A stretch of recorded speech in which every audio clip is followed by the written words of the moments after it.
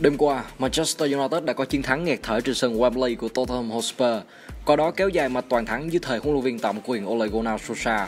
Sau 22 vòng đấu, Quỷ đỏ đã sang bằng điểm số với Arsenal, nhưng vẫn còn kém Chelsea 6 điểm. Huấn luyện viên Luciano Spalletti không tung ra sân với đội hình mạnh nhất trong cuộc đọ sức với Benevento tại vòng 1/8 Coppa Italia. Tuy nhiên, đội chủ sân Giuseppe Meazza vẫn dễ dàng kiểm soát thế trận và chờ lấn lướt trước Benevento. Chung cuộc, Inter giành chiến thắng đậm 6-2 để giành vé vào vòng tứ kết. Trước Inter Milan thì Lazio, AC Milan, Juventus và Fiorentina cũng đã ghi tên mình vào vòng tứ kết. Với một bàn thắng ghi được ở trận E3 3-0 đêm qua, Lionel Messi trở thành cầu thủ đầu tiên cán mốc 400 bàn tại La Liga. Anh đạt cột mốc này sau 435 trận, trung bình ghi 0,92 bàn một trận. Nếu tính tổng số bàn thắng ghi được trong top 5 giải đấu hàng đầu châu Âu, Messi là người thứ hai đạt cột mốc 400 bàn, chỉ sau Cristiano Ronaldo 409 bàn.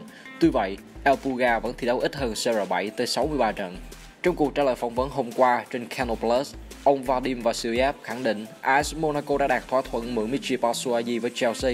Theo vị phó chủ tịch Monaco, đội bóng Lyon sẽ mượn tiền đạo người Bỉ theo hợp đồng có thời hạn 6 tháng.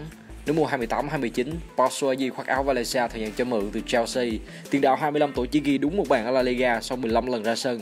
Như vậy, Batshuayi là ngôi sao Chelsea thứ hai đầu quân cho Monaco trong kỳ chuyển nhượng mùa đông. Trước đó là Fabregas. Trong thời gian vừa qua, Chelsea đã bày tỏ sự quan tâm dành cho Callum Wilson. Trước báo giới, trợ lý của huấn luyện viên Maurizio Sarri, Gianfranco Zola thừa nhận The Blues đang theo dõi tiền đạo của Bournemouth rất sát sao.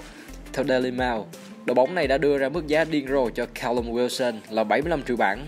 Sau giai đoạn đầu mùa thăng hoa, Bournemouth đã sa sút không phanh trong thời gian vừa qua. Chính vì thế họ muốn giữ Callum Wilson ở lại để phòng khả năng bị rơi vào cuộc đua trụ hạng. Ngày 16 tháng 12 năm 2018, Wayne Rooney bị cảnh sát bắt giữ vì đã gây rối trật tự ở sân bay quốc tế Virginia, Mỹ. Sự việc chỉ được biết đến rộng rãi thông qua truyền thông vào ngày 7 tháng 1 năm 2019.